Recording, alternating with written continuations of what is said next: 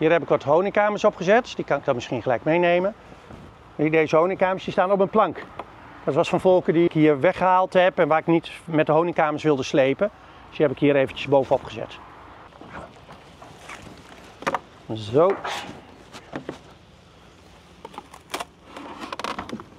Oh, plakken. Ja, dat is één. Kijk, die zijn mooi leeg. Die heb ik boven een bijuitlaat gezet. 10 bijtjes. Die vliegen daar in de auto er wel weer uit. En hier ook 10 bijtjes. Als, als er wel 10 zijn. Zie, honingkamers neem ik dadelijk mee. Nou, wat heb ik nou bij dit volk gedaan? Uh, die hadden gezwermd, denken we. Haal jullie even naar beneden. Ja, die hadden gezwermd, dat denk ik niet, dat weet ik zeker. Dit volk had gezwermd. Uh, maar ik zag nog geen jonge koningin. Ik, geen broed meer en ik zag geen jonge koningin. Nou maakten ze op mij geen moerloze indruk. Maar het risico is dat als ze toch moerloos zijn en die koningin komt niet aan de leg, dan worden ze darrebroedig. En er is niks zo vervelend als een darrebroedig volk. Dus wat ik dan doe is dat ik een raam met open broed inhang. Eitjes en open broed. Dat heeft twee voordelen. Het ene is, als er geen koningin is, kunnen ze nog een nieuwe koningin maken. Als er wel een koningin is, doen ze er helemaal niks mee. En help je eigenlijk dit volk sneller vooruit, omdat ze toch al uh, jong broed hebben. Dus de ontwikkeling van het volk gaat een week sneller. En die jonge bijen die daar geboren worden, die geven weer een boost aan dat volk om zich snel weer te ontwikkelen voor de winter. En het derde voordeel is dat als er geen koningin is, hebben ze eitjes en larven om een dop aan te zetten. En dat de raam wat ik inhang, hang ik dan natuurlijk in van een topvolk, zodat daar eventueel een top F1 uit geboren wordt. Eigenlijk een simpele vorm van uh, koninginnenteelt. En eerlijk gezegd had ik, heb ik dat ook het liefst dat ze dat gedaan hebben, want dit volk heeft gezwermd. Was een moer van vorig jaar. Dus ja, of ik daar een F1 van wil hebben. Het was wel een P-moer. Een Van de Boogaard moer. Maar die heeft nu al gezwermd. Ja, dat is eigenlijk geen genetica die, uh, waar je mee verder wil. Die zwermen echt veel te snel. Het is ook onlogisch dat een volk in het eerste jaar al zou zwermen. Dat, dat, ja, dat is is altijd een risico voor een volk om te gaan zwermen. Kats vol met voer.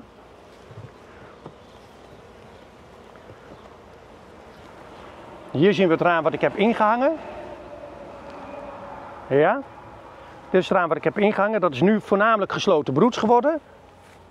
Ik zie nog wat uh, oudere larfjes.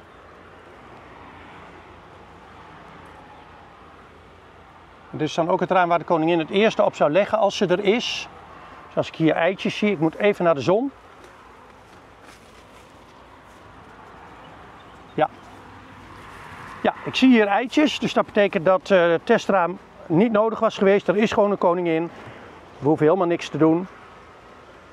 Ik sluit hem weer snel af. Dus dit raam werkt nu alleen maar als extra boost voor het volk om zich weer snel te herpakken. Maar de koningin is niet van het testraam, maar van de vorige lijn, nou ja, die ga ik dan in het najaar weer vervangen voor onze nieuwe lijnen. Deze hoeft er helemaal niet op. Deze moet ook mee. Moerroos zit je erop.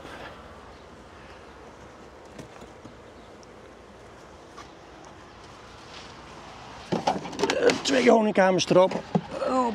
Oké. Dus die zijn wel erg zwaar. Oh, die heb ik hier staan.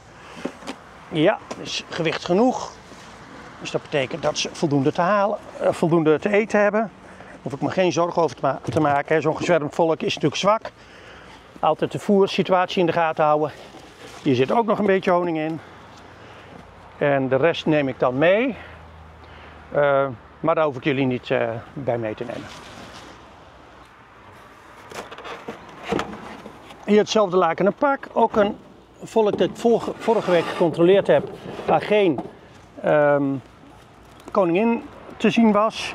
Ik wil niet zeggen dat ze er niet was, maar ik heb er niet gezien. Ook geen broed meer. Ook hier heb ik een. Oh, plaqué, er zit wat honing in. Oh, oh, twee was te veel.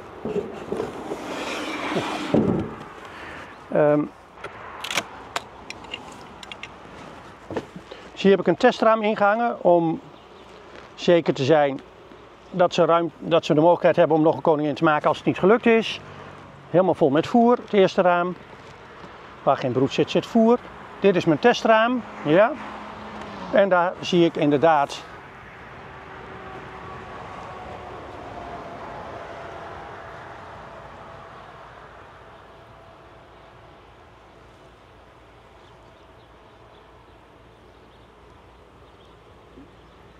doppen.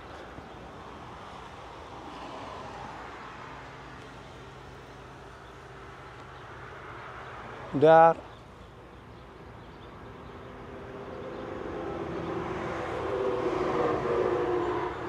En dat betekent dus dat dit volk geen koningin had. Dus die koningin is verloren gegaan.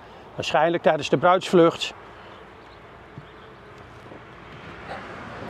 En die heb ik dus nu eigenlijk een tweede kans gegeven door even een raampje broed in te hangen. En wordt het niet darrebroedig. En anders zouden deze al heel snel darrebroedig geworden zijn. Dan is zo'n volk reddeloos verloren. Ik sluit hem weer af, ik hoef niks te doen. Ik schrijf alleen op uh, wat ik gezien heb. En dat als hier een koningin aan de leg komt, dat zij dus een dochter is van die 588. En uh, dat is het. Dat is ook eenvoudig aantal darrebroedige volken dat ontstaat door zwermen verkleinen.